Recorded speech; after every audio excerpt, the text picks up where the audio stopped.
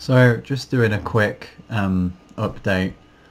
Uh, it's been over a year now since I had the ICL and laser surgery.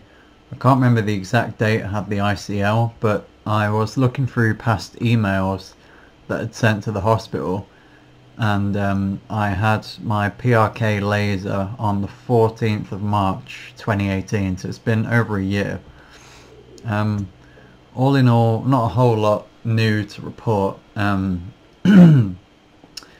again, it's it's becoming like allergy season now in the UK. Um, so I've noticed my right eye in particular tends to get a bit cloudy at times. Um, like the tear production isn't as good as the left eye. It's, it's weird because it's usually the left eye which historically has been worse with the allergies than my right. But yeah, um, so I basically used eye drops. I'm not sure if I've got them with me. Um, yeah, I do.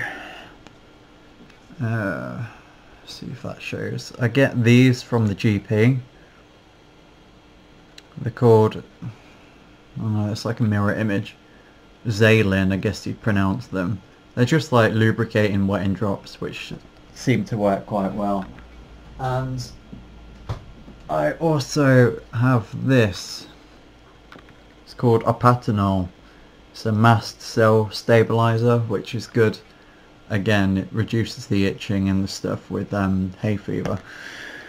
Uh, another good thing I still like to use, which I've shown you before, is this. Um, it's still going strong. I don't use it all that often, but it seems to help a lot when I do. Um, um, still got it plugged in.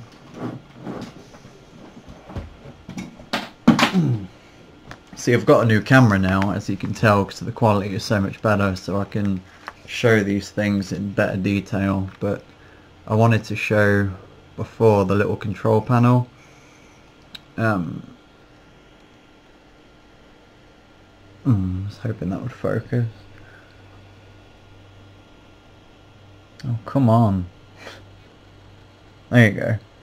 So yeah, I know it's mirror imaged and everything, but it will go up from 35 degrees all the way up to 50.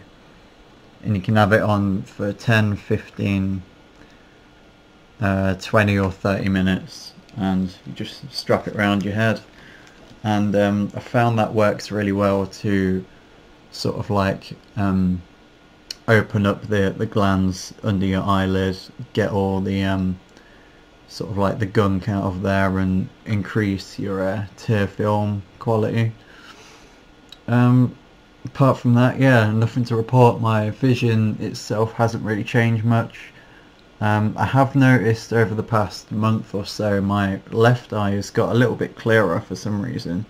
Um, I don't know why that's happened. Like I said, it's been over a year since I had the surgery and now the left eye seems to be for some for whatever reason seems to be a little bit clearer.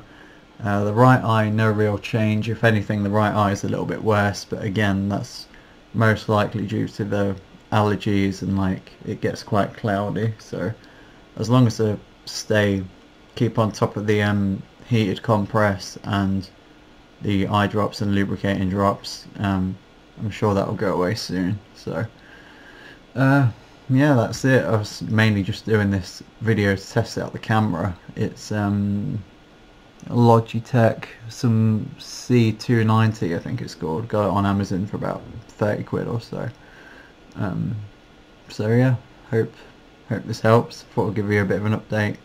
Nothing really much else to say. So um, have enjoyed the comments. Like a few of you have like written to me and stuff. Um, and I've enjoyed like answering those questions you might have to the best of my ability.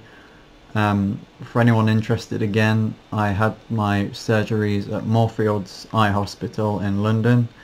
Um, my surgeon for the ICL and the laser was Mr. Bruce Allan. So if you put, uh, it's like B-R-U-C-E and then Allan, I think it's spelled A double A double L A N if you just put Bruce Allan uh, eye surgery, you'll find his website and you'll also find him on the Moorfields website. So that's who we used. He's an excellent surgeon and a really nice guy, um, and is always uh, like available to answer your questions. So yeah, that's that's who we used, um, and I'm very happy with the results.